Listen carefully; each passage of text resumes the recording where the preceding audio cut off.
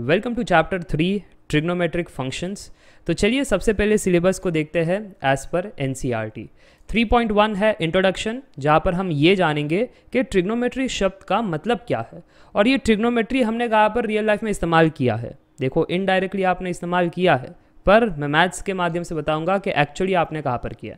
फिर 3.2 पर जाएँगे, जो है एंगल्स एंगल्स का मतलब क्या है? कैसे मेजर करते हैं? उसके एप्लीकेशंस और फिर उस पर ढेरों सम्स करेंगे। इंपॉर्टेंट टॉपिक है।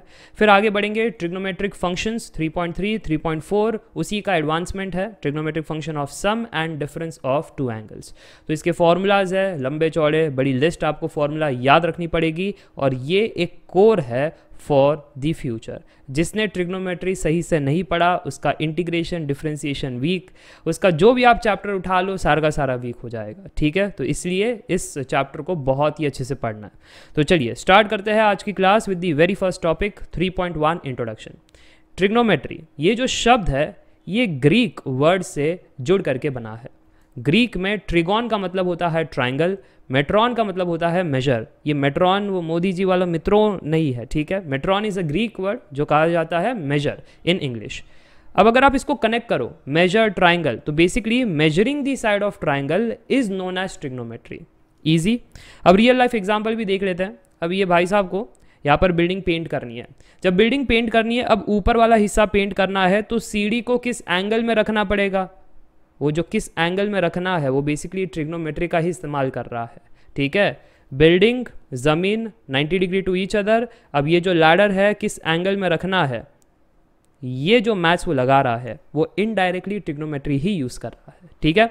अगर इस प्रकार से लगाए तो ऊपर वाला हिस्सा होगा, थोड़ा और उसको खिसका दे नीचे तो मिडल वाले हिस्से पर वो पेंट कर सकता है so on and so forth similarly जब आपने अब घसरगुंडी हिंदी में कहते हैं अगर आपने ये गेम खेला है बचपन में तो फिर आपको पता होगा कि ये है ना 90 डिग्री वाला नहीं होता।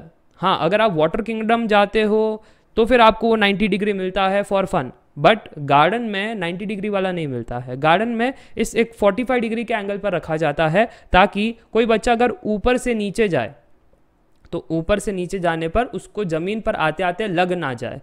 उसको मज़े भी आए कि स्पीड भी बढ़ी।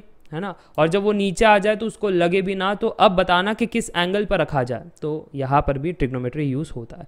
सिमिलरली अगर आपको नारियल तोड़ना है, आप हो, ज़मीन पर पेड़ है परपेंडिकुलर टू दी ग्राउंड है ना? नारियल ऊपर कहीं टंगा हुआ है, यहाँ से आपको पत्थर मार करके नारियल फोड़ना है।